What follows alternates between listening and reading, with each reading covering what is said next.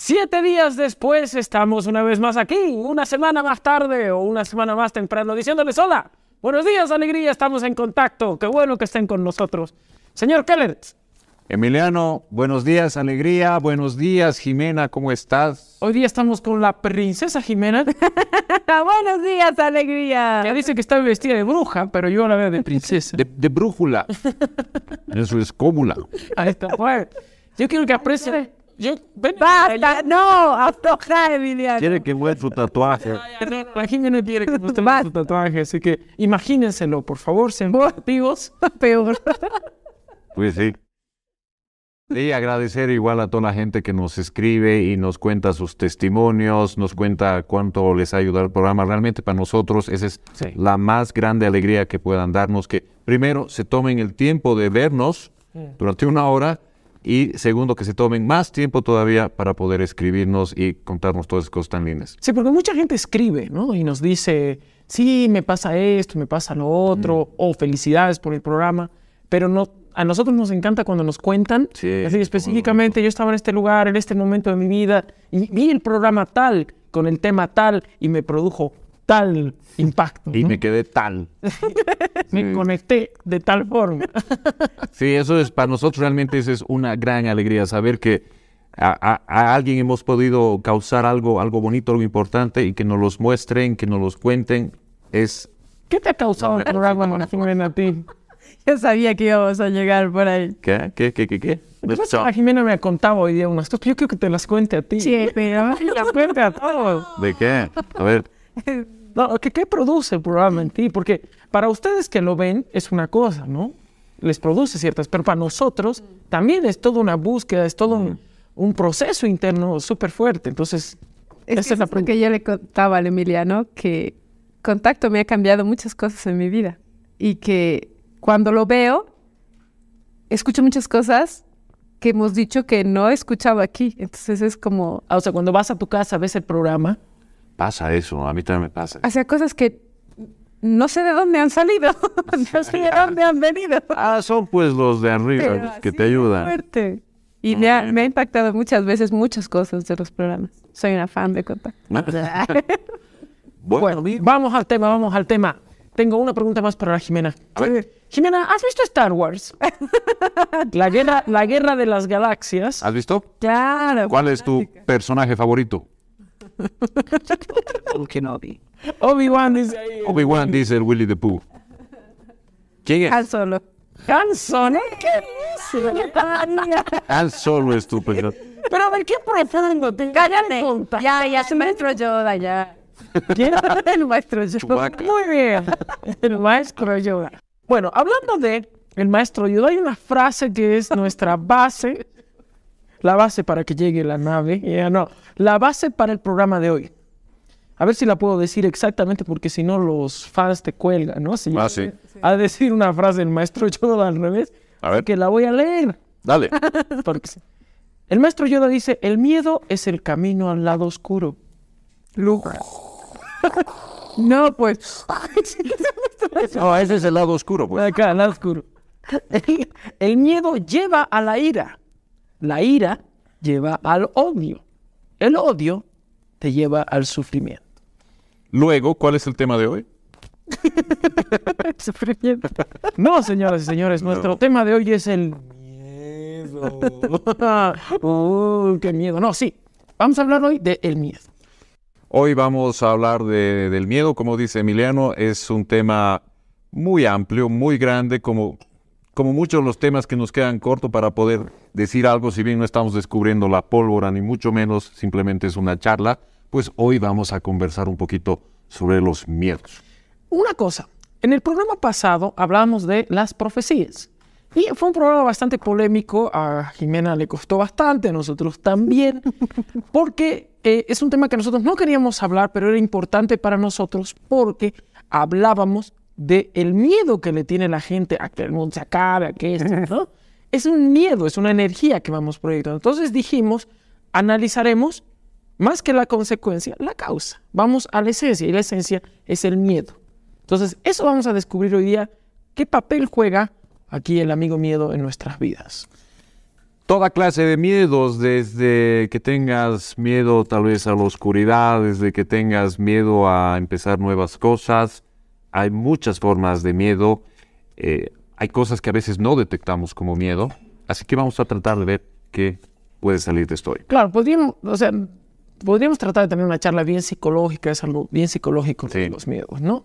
Pero en este programa vamos a tratar de máximo, o sea, le vamos a dar, eh, vamos a usar los términos que se utilizan normalmente, Ya.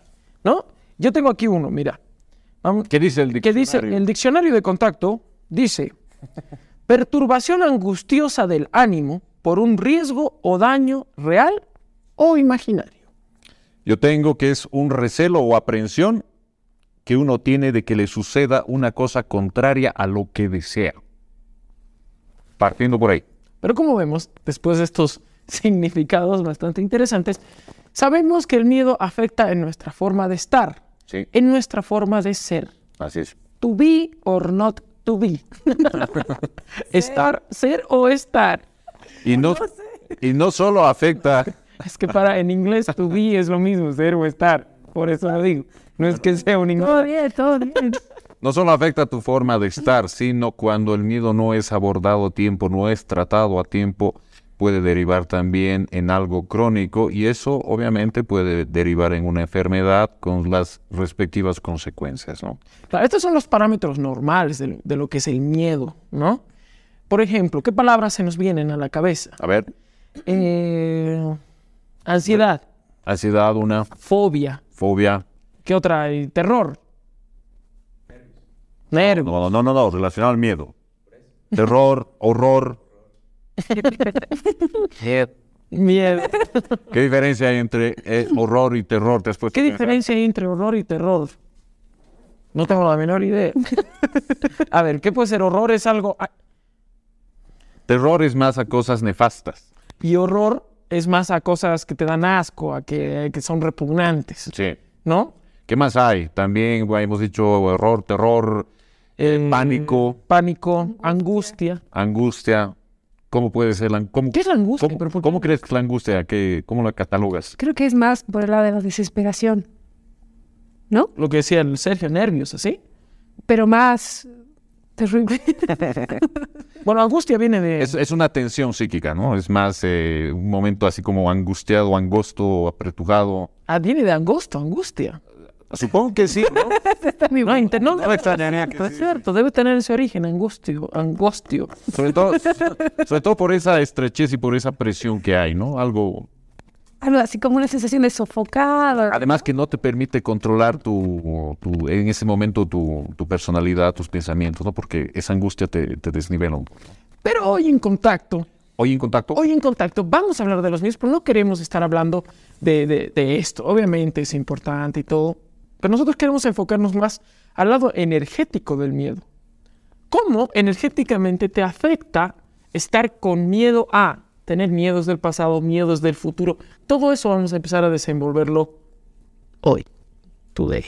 Si hay algo que tenemos en común toda la humanidad, desde el rico hasta el pobre, desde el flaco hasta el gordo, todos, todos, todos, Es que algún día estaremos en contacto todos felices, unidos. Además, además, pero en, en tiempos pretéritos, desde el miedo a la arañita hasta el pánico a la muerte, es un, es un sentimiento que todos los hemos vivido este, y que lo seguimos viviendo y que queremos zafarnos de ese sentimiento que es el miedo. Ahora, hay un miedo natural. Y yo creo positivo, instintivo, como me decías más temprano, ¿no? Me quemo, entonces ya mi cerebro tiene miedo al fuego o miedo a quemarse. El miedo es el que nos ayuda a no caernos de una altura, ¿no? Claro. Es ese miedo Te positivo. Mm. digamos, es el miedo Natural. natural. Está súper, eso está súper. Es el miedo que uno aprende de las malas situaciones, el que aprende. Pues también está el miedo, llamémoslo, del otro lado, el miedo negativo, ese que te, que te pone en angustia, ese que te pone nervioso, ese que no te deja vivir en paz, el que no te deja dormir, el que no te deja llevar bien con la gente. Hay varias clases de miedo que hay que saber abordarlos también cuando ya pasan de la raya de lo normal. Hay miedos súper negativos. A ver, ¿qué miedos tenemos? Charlaremos un cachete. ¿Qué miedo tienes? Empezaremos por allá. ¿Tienes miedo a que te pregunten en contacto? ¿A qué le tienes miedo, Jime? ¿Algo en especial? Yo hace, hace algún tiempo tenía mucho miedo a la soledad. A la soledad. Hace un tiempo. Hasta que, Hasta que he visto el programa. Poco antes de ver el programa. ¿Sí? Sí. O miedo a, a perder a alguien amado. A perder a alguien amado. Sí. Tú dices que, que desencarne, Que que, que se libere, mejor dicho. Sí. Bueno, ahora ya no tanto, ¿no? ahora ya lo veo distinto, pero tenía ese miedo. Yo tenía miedo a las arañitas. ¿Aracnofóbica? De chico me, me, me asustaba la araña, o sea, las patas grandes, todo eso me daba así. Ah, sí, no. Ay, los ratones. Lindo ese rato. Ay, su cuerpo. Ya, Bueno, Bueno. ¿cuánto tiempo nos queda? ya está. Control? Estamos en el corte. Uno, uno. ¿Estamos en tiempo? ¿Me podemos ir al corte? Sí, vamos al corte. Bueno, ya volvemos. El tema de hoy es el miedo. Hoy estamos hablando sobre el miedo, sobre los miedos. Tengo un pequeño cuentito que si bien no habla sobre el miedo, pero está muy relacionado a la forma de abordarlo. Y esta es la historia de una persona se acerca a una familia y le pregunta al, al señor, al padre de familia, al esposo, le dice, Señor, ¿es fácil llegar a la, il- a la iluminación?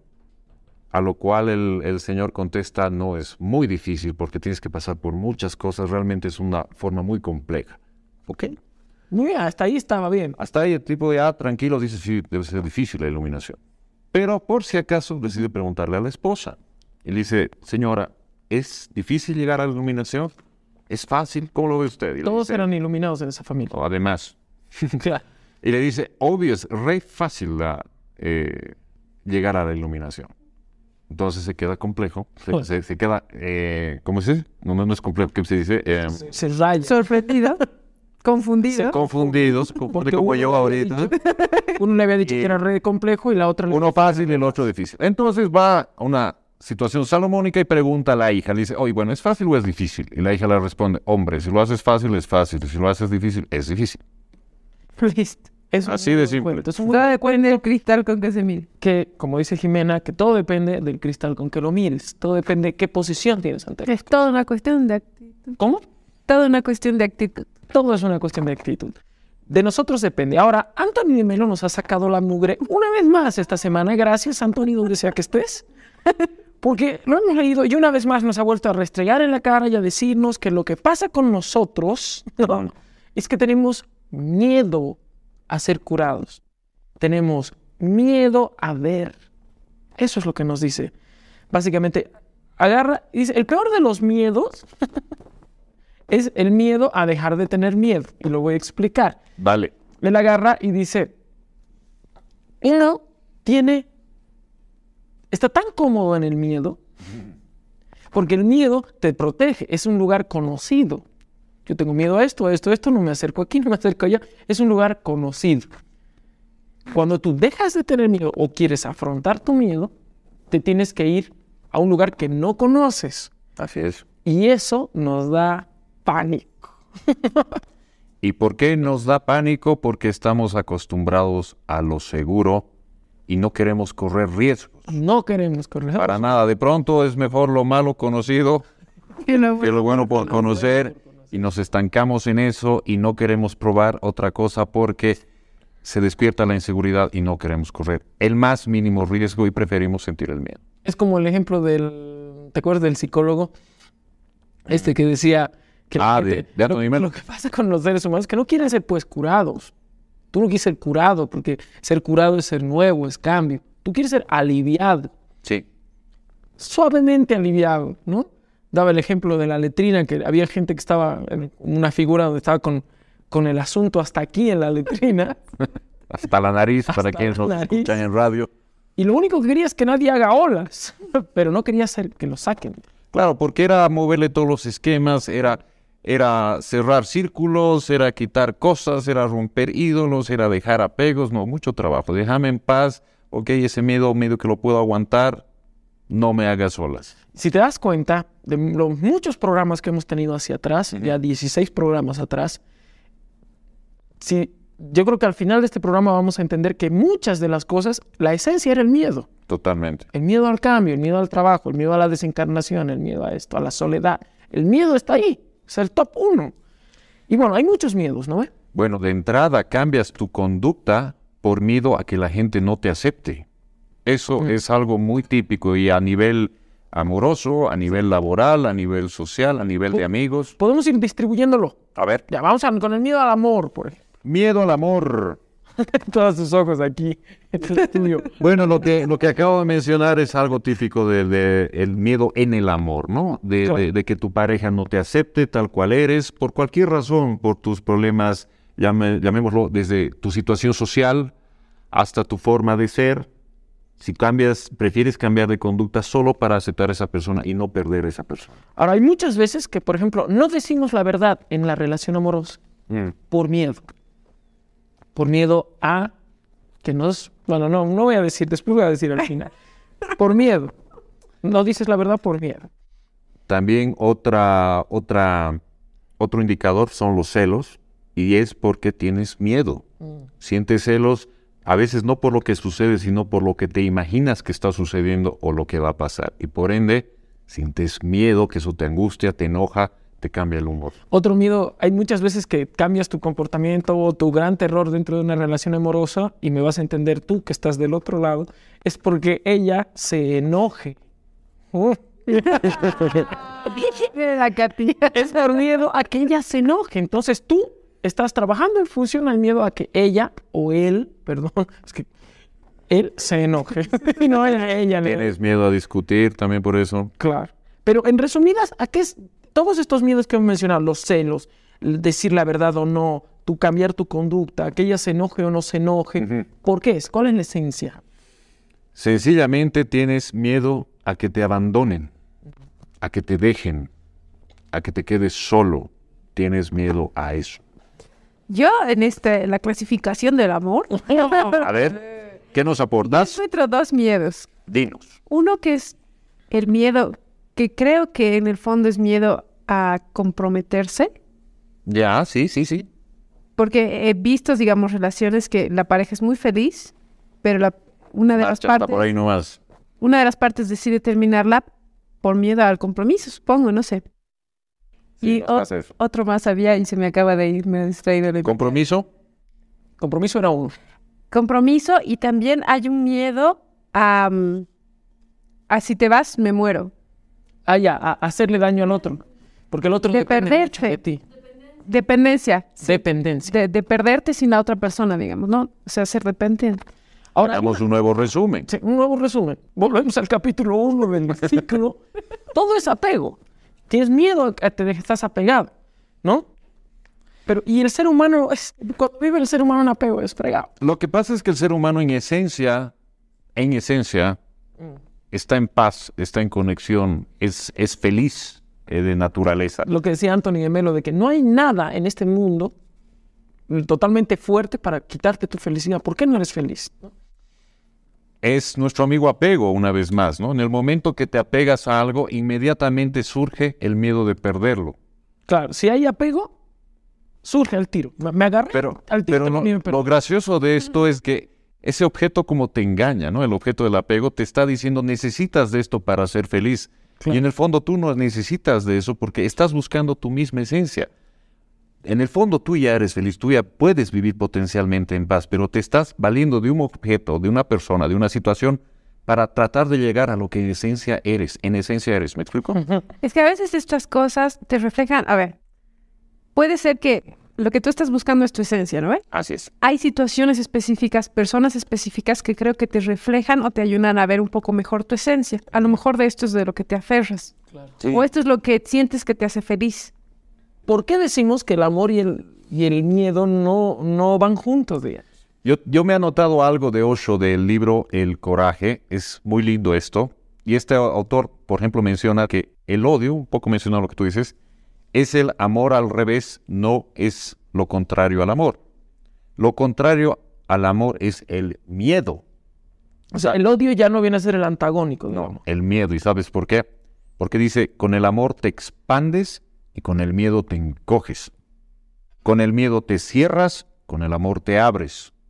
Con el miedo dudas, con el amor confías.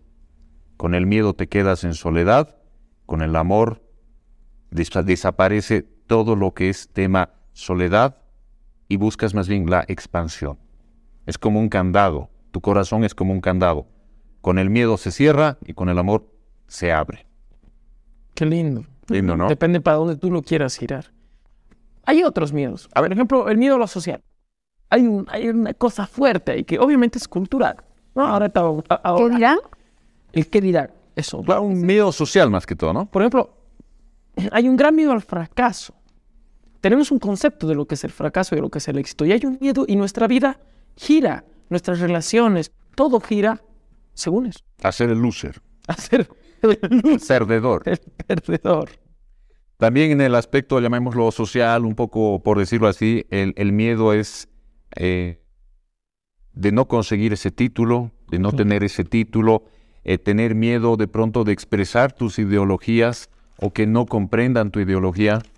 ¿Tienes que ir a un corte? No, porque Bueno, eh, seguiremos en el próximo. En el próximo seguiremos en el próximo. no tengan miedo. Vamos a volver.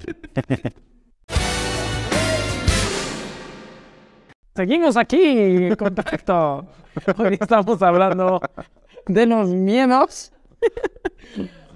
Estamos hablando de muchos miedos, ¿no? El miedo al amor, el miedo Estábamos en lo social. al rechazo, al- al- los- el miedo en lo social.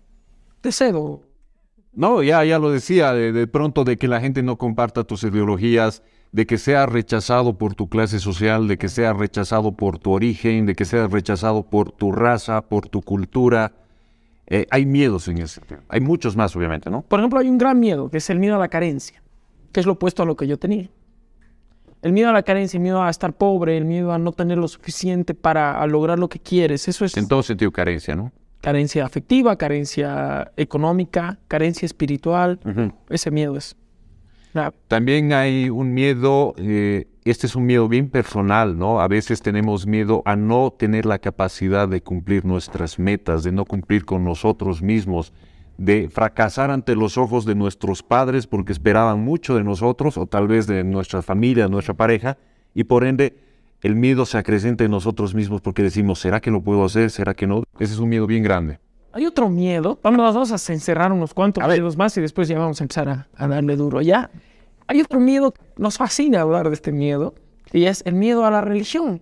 El miedo y la religión, no el miedo a la religión. El miedo, El miedo y la religión. y la religión, ¿no? Hay una, hay una cosa que siempre estábamos charlando con Wolfgang y decíamos, pucha, si tú lees la Biblia, sobre todo en el Evangelio, Jesús te dice, no sé cuántas veces, no temáis, Sí. no os asustéis, no os desesperéis con ese amor que Él tiene.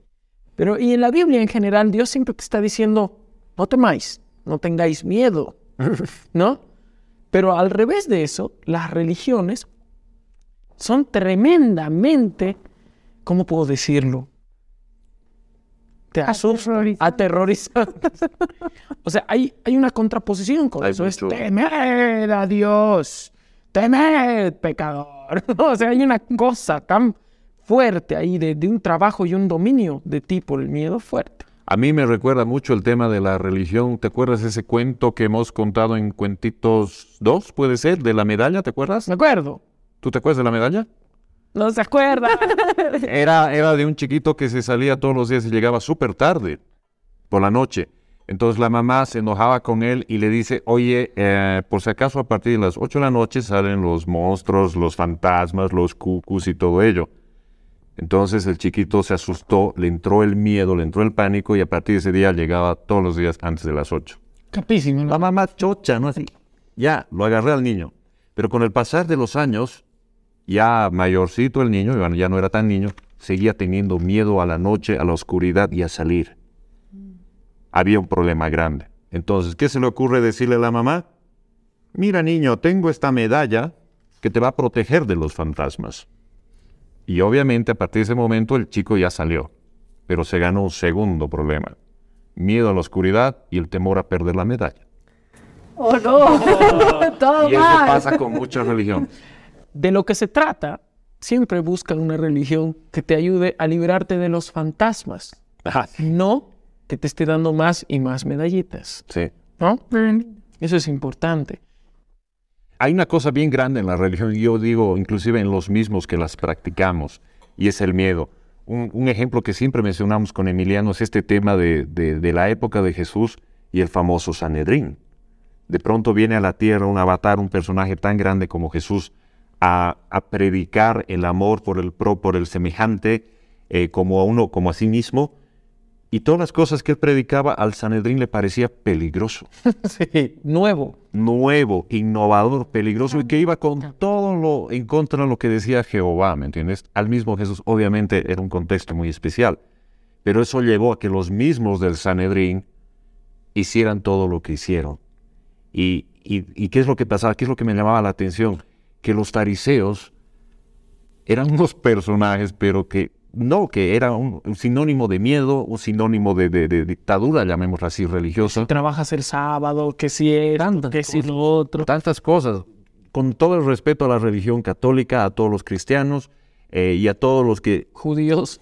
to- a todos ellos, pero hay una cosa bien evidente, o sea, los mismos del Sanedrín fueron los que crucificaron al Cristo, ¿no? Los santos de la época. Los santos de la época y actualmente seguimos teniendo gente así, de pronto seguimos nosotros ejerciendo de fariseos A también. nosotros nos pasa. Nosotros mismos somos así. A veces Santa Teresa decía una cosa. Ah, sí, es- es- Dios nos libre de los que se crean santas. Santa Teresa. Santa Teresa. Porque decía, si ese señor no se creyera tan santo, sería más fácil Sí. que encontrara la verdad. Pero el ejemplo de los fariseos, de que de Jesús pronto decía la verdad y, y- y los del Sanedrín se, les sentían miedo, porque eso no era, inad- o sea, no era admisible. Pero ponte a pensar qué pasaba con Galileo. Oh, ¿por qué no querían mirar por el telescopio? claro, esa eh. época eran- ¿no? Sí. El tipo decía y aseguraba el sol, la tierra gira alrededor del sol. Pero en la Biblia dice, o se interpretaba al revés. Claro. Entonces ellos no querían mirar por el telescopio porque, por dos cosas. Una que era herejía Claro. y segundo que tenían miedo Claro, porque toda su estructura se iba. Toda su estructura. Y por eso no querían mirar por el telescopio. No nos puede pasar eso, tenemos que ver por el telescopio. ¿Sabes qué me parece lindo de esto? Yo ve- veo que el miedo lo que hace es que te paraliza, ¿no? Eso es, total. La gente tiene miedo al cambio porque el cambio lo que hace es que avances. Entonces prefiere pararse. Claro, más fácil, es mejor lo más... Claro, es que con el miedo, justamente el miedo al cambio, cuando mencionas la palabra cambio a unas estructuras tan sólidas y hasta oxidadas de nosotros mismos, afloran todas tus inseguridades. De pronto tenías toda una estructura armada de que la- el universo giraba en torno a la Tierra y viene un muchacho y te dices al revés. No, pues, tienes miedo a que se te quiebre todo. Pero no solo te pasa en eso, te pasa en el matrimonio, por ejemplo. Uh, eh, sí, eso es algo bien común. El miedo de pronto a tú no abandonar a tu pareja. A veces no abandonamos a nuestra pareja porque esta pareja nos brinda esta persona. seguridad, nos brinda seguridad económica, inclusive nos brinda la seguridad de, de tener una persona al lado. Creo que no es ese el miedo. Dime. O sea, a ver, lo que yo veo en ese miedo, por ejemplo, no es ese miedo, sino es miedo a que tú no puedas sin esa persona. Eso. En realidad. Y, y- y estaba pensando a lo mejor que los miedos más difíciles de descubrir son los inversos. No es el miedo a la oscuridad, sino, por ejemplo, lo que tú decías, el miedo a la abundancia, Es el miedo a la libertad, por ejemplo. a lo bueno, digamos. Claro. A esa Ay, ay, sensación de lo miedos, bueno, Claro que sí. Miedo a, a ser feliz. feliz. El miedo a ser feliz. a ser exitoso. Hay tantos miedos, este, ¿no? eh, Que, que son lo inverso, digamos, ¿no? A los males que usualmente es, es más fácil ver. Pero, pero hay una cosa clara eh, con lo que mencionas ahorita, menciona el Em- Emiliano. En el momento que hay un cambio, sea cual fuere, sea entrar a una abundancia, por ejemplo, o al no separarte de tu esposa o de tu esposo porque te brinda seguridad económica, implica un cambio que tienes que cambiar de actitud, El cambio cambiar de situación. Cambio. ¿no? O sea, el cambio per se, per se te dice, aquí va a cambiar la cosa, así que o te metes o no. Entonces a veces el miedo dice, no, no, no, no, quedémonos así, humillándonos. Sí, humillándonos en el trabajo, humillándonos aquí, humillándonos allá. Es fuerte. Es fuerte. Cambio como avance, ¿no ve? Cambio como, Cambio Siempre, como sinónimo de siempre, avance. siempre, siempre. cambio como sinónimo de avance. Hay cosas que tienes que cambiar, hay cosas que no puedes cambiar. De entrada, ¿qué, qué, pasa por- ¿qué pasa con toda esa gente que sueña y tiene miedo de ese cambio? Los chicos, los jóvenes. Ya sé que sueñan con ir a tal lugar o conseguir tal meta y todo, pero hay miedo. Hay miedo de lanzarse, hay miedo de, de trabajar, hay miedo de un montón de cosas. De, de valerse por sí mismos. Ahora, lo chistoso del miedo es esto. Mira, tú estás peleando contra algo que no existe, para empezar. Te digo por qué. Cuando tú tienes miedo a algo, es por algo que te sucedió en el pasado, Normalmente. normalmente, por algo que te contaron que podía pasar, o por una experiencia de otra persona, Y que la proyecta. ¿no? Y que la proyectas. Entonces, te estás peleando contra algo del pasado que ya no está, te estás peleando. Segundo, te estás peleando con algo que puede pasar en el futuro, sí o no. ¿Será que? ¿Será que me va? ¿Será que me va? Solo hay una forma de descubrirlo, ¿no? Pero te estás peleando contra algo que no existe y eso te tiene paralizado. Y eso vamos a seguir hablando. Sobre todo cuando, cuando eh, proyectas al futuro, ¿no? De pronto te ofrecen, qué sé yo, ir a una excursión, Claro. ¿no? Y resulta que, no, y si llueve. Y si llueve, así nos Las pasa esto. Easy son Los El easy o el pero, ¿no? Así debería llamar el programa de hoy. Easy. Sí, es típico. y si nos chocamos, y si llueve, y si no podemos volver cuando hemos dicho, no sé qué. Pero cuando vas a la excursión, cuando ya sales y estás respirando ese aire, dices, ¿por qué no he venido antes? Y estás chocho. ¿Por qué no me he lanzado antes? Estoy perdiendo todo ese tiempo. Tantos años que dije que iba a viajar a la tal cosa. ¿Cómo es, Sergio? ¿Qué quieres contar? Que yo, digamos, al miedo lo veo como una forma de control, ¿no? Por, por ejemplo, una forma de represión, se podría decirlo así. Cuando, por ejemplo, hablas del, de la iglesia, ¿no? Por así decirlo, que, que te controlan, yo creo, un poco más por el miedo, ¿no? O sea, te tienen ahí estancado en que si pecas, en que si no haces esto, que si no haces lo otro, no vas a ir al cielo, ¿no? Entonces la gente está peleando por no pecar, por ser bueno con el prójimo, por no robar, por no mentir, por Pero no desear a la mujer, ¿no? Por miedo, exacto, por miedo a no entrar al cielo, ¿no? Por ejemplo, cuando pasó el atentado en Estados Unidos, ¿no? Pues el 2001, toda la gente hasta ahora sigue viviendo con miedo, ¿no? Entonces en Estados Unidos de que cualquier día llega otro avión y se, se baja, ¿no? El Empire State, digamos. Cancelado. o cae, ¿no? Así, ese tipo de cosas, ¿no? Y, por ejemplo, en Estados Unidos la gente vive con bastante miedo de que cualquier cosa de ese tipo suceda, ¿no? Claro. Entonces, y, y es, ha sido una forma de, de estructura de represión bastante, que le ha servido bastante al gobierno, por así decirlo. ¿no? Sí, yo creo que eh, religiosamente, como dice Sergio, económicamente, políticamente, el miedo está ahí atrás. Y detrás del miedo está esa palabra muy conocida, el apego a algo, el apego a una creencia, el apego a, a- a ideas, A una tradición, a una Tradición. programación, a programaciones sobre A todo. volver a sentir algo que has sentido antes. a volver a sentir. El temor al pasado proyectado al futuro. Y si te das cuenta, Y sí, y si te das cuenta, todo es miedo. Por ejemplo, la violencia, en el fondo, es miedo. claro, un, un- un perro te muerde de pronto porque tiene miedo, ¿no? Una persona que es súper agresiva es porque tiene miedo a que tú le quieras cambiar las cosas. Una persona que es fanática es porque tiene miedo. No, no se puede permitir dudar. Te va a comer con conceptos antes de que le puedas plantear una duda. Tiene miedo. Una persona egoísta tiene miedo. Por eso es egoísta, porque tiene miedo. Al cambio. Al cambio, a, a- a la carencia tiene miedo. Una persona infiel es porque Tiene miedo. tengo miedo. Cancelo. Cancelaron con amor. Bueno, nos tenemos que ir al corte, así que antes de irnos al corte, lanzamos la pregunta. ¿Qué podemos hacer contra el miedo? Ya hemos hablado del miedo, todo ya. Bueno, ¿qué hacemos? ¿Qué hacemos para liberarnos de eso? Así que del corte ya venimos y lo hablamos. Y el tiempo ha pasado tan rápido que nos da miedo de que este programa se acabe sin que digamos todo lo que tenemos que decir. Estamos hablando de que qué hacemos contra el miedo, cómo lo combatimos. Hay miedo a tantas cosas, a la oscuridad, a sentirse abandonado, al fracaso, al temor, el miedo al miedo, tantos miedos. El miedo a la felicidad. El miedo a la felicidad. Sí, muchos. A la abundancia. A la abundancia. ¿Qué hacemos? ¿Qué hacemos? ¿Qué se te ocurre, amigo mío? Hay una cosa clave. A ver, Cuando tú reconoces al miedo, este pierde la batalla. Y pasa lo mismo con el apego. Cuando tú reconoces el apego, este pierde la batalla. Es bien linda esta frase. alguna vez yo daba un ejemplo de que el miedo es como una señal. Cuando, por ejemplo, tú vas a una, qué sé yo, una central eléctrica y ves máquinas, alta tensión, todo eso, siempre ves así una calavera, ¿no? Que dice peligro. No te asustas, Peligro. no te asustas, sino que eres precavido. Claro. De ese rato dices, ay, qué miedo, te tiras por la baranda. No, eres precavido. Es lo que hablábamos. Por ejemplo, tú vas en el auto y de repente aparece una señal que te dice curva cerrada. No es para que frenes el auto y te vuelvas. por miedo o te quedes quieto. Es para que prestes atención cuando estás doblando, o sea, te pongas en el aquí y en el ahora. Para eso sirve la señal, para eso sirve el miedo. Hablando de señales, por ejemplo, es típico, ¿no? Eh, eh, esas señales de, de, tránsito donde hay como una, un, ¿cómo se llama? Un auto así con curvas. Claro, que te dice curva sinuosa, camino sinuoso. Es para que prestes atención, reduzcas velocidad y manejes con cuidado. Eso es el miedo. O sea, deberían decir, tómate una taza de té. Claro. Eso te está diciendo, concéntrate. Sí, eso es. ¿No ve? Sí. Y ahora, bueno, otra cosa importante es que tú afrontes los miedos. ¿Se te ocurre algo, querida Jimena?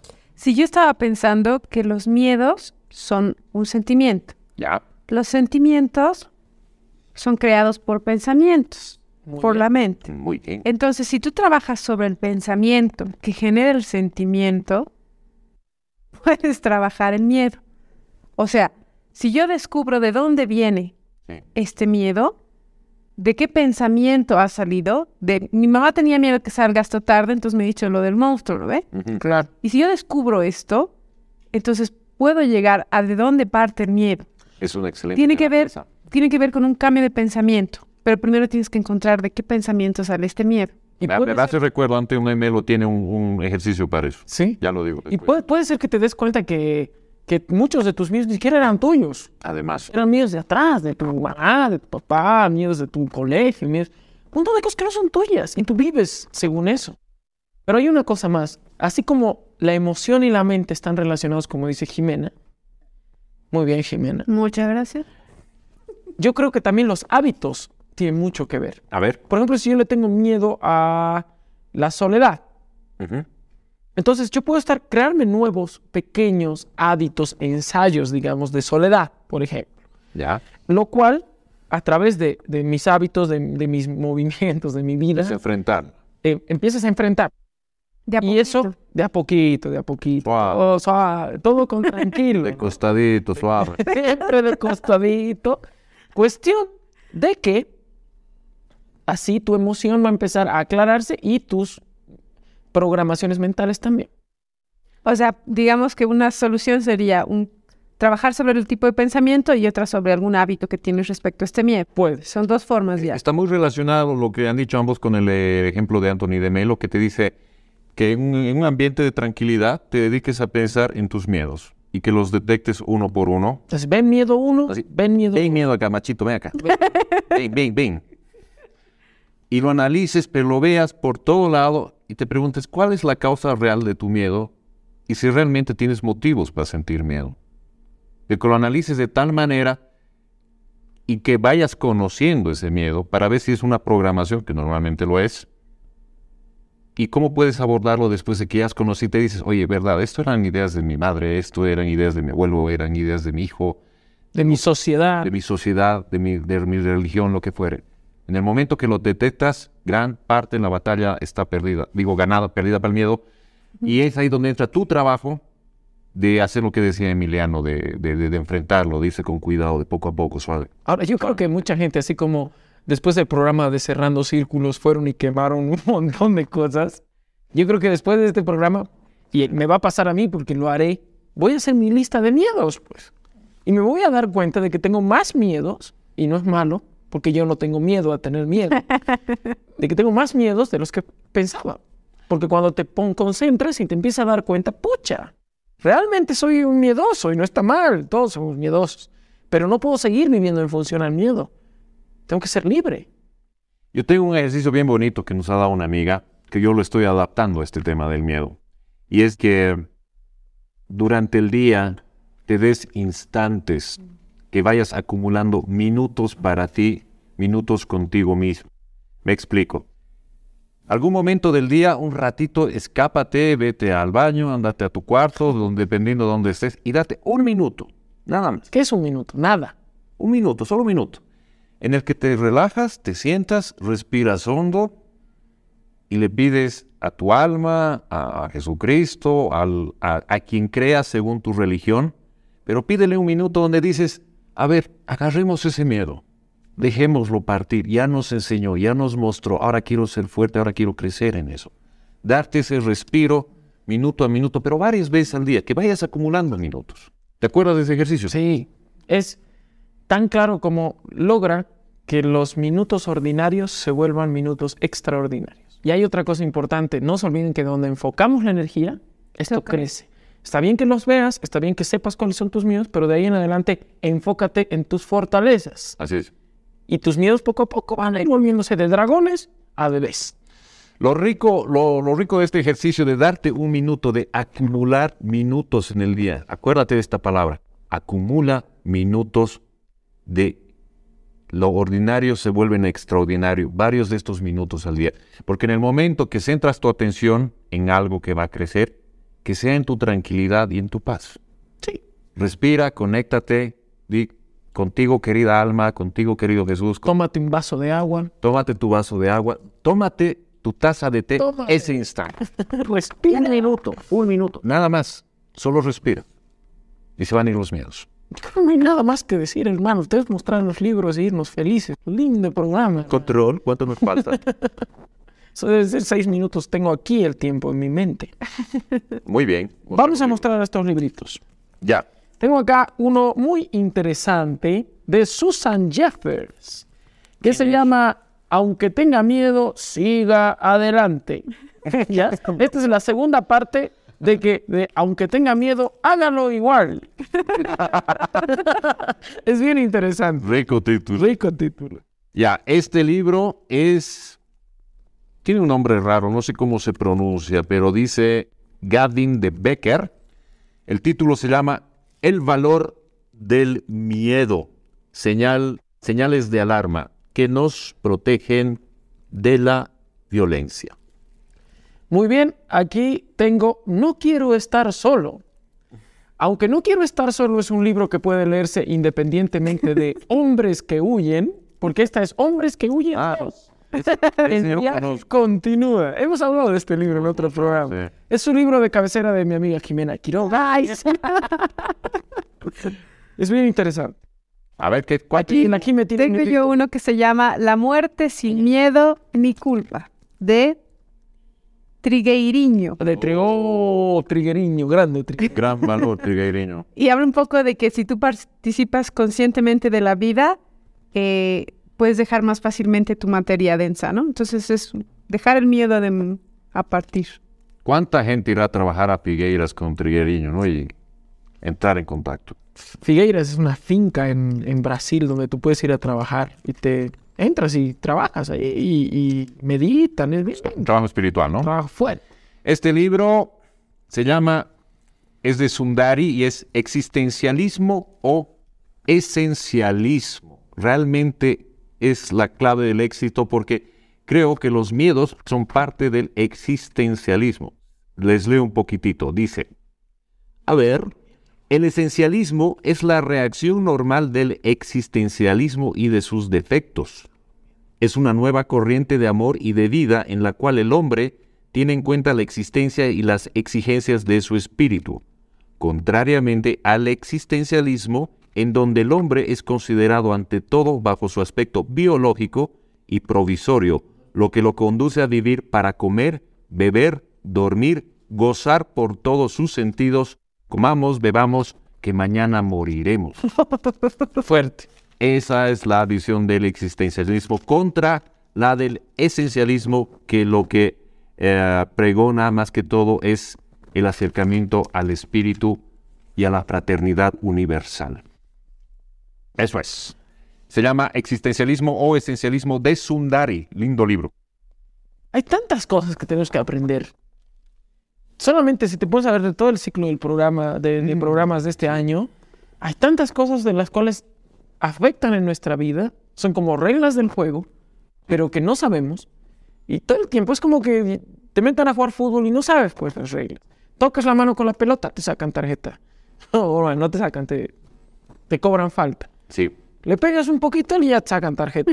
Y no sabías. No sabías. conocer las reglas Nos han metido en este juego y no sabemos las reglas. No sabemos cómo manejar el miedo. No sabemos cómo manejar los apegos, las dependencias. No sabemos cómo respirar. Cancelado con amor. Cancelo, porque ahora sí sabemos. Sabemos. Pero sabes que eso también son, son culpas nuestras, o mejor dicho, nosotros somos los responsables, porque a veces tenemos miedo de algo, pero no nos preocupamos de ir más allá. ¿No? Decimos, uy, Dios me va a castigar y no voy a ir al cielo. Pero oye, indaga, ¿por qué no vas a ir al cielo? Por eso hay que tomar la responsabilidad y las riendas de nuestra vida y la rienda de nuestros miedos. Cambio. ¿Vamos con el cambio? Vamos, vamos con el cambio. Vamos con el cambio. Y no es político, es espiritual. Una vez más. Acuérdense de esto, acumula minutos en tu día. Tómate una taza de té de un minuto todos los días. Que estén bien. Hasta luego.